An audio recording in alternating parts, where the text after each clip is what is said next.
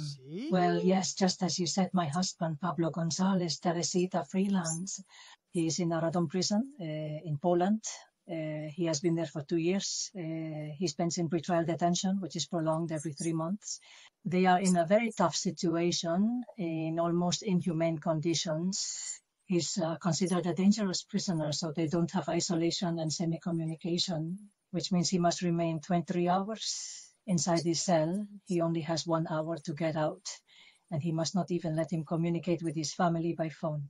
In these two years that I have been in prison, we have only been granted two visits.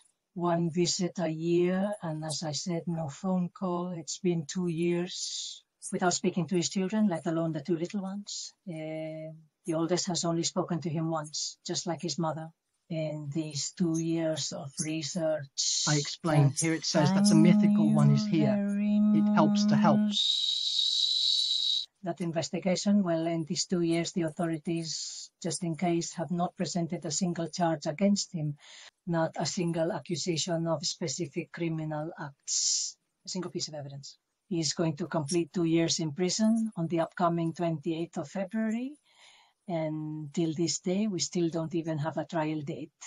The lawyers, they can't access the total of the prosecutor's office actions, so I handed in to they have not presented the charges or evidence because they don't know exactly what they have to defend, and this hinders the work of the defense. Therefore, Pablo Gonzalez will be defenseless and incommunicado.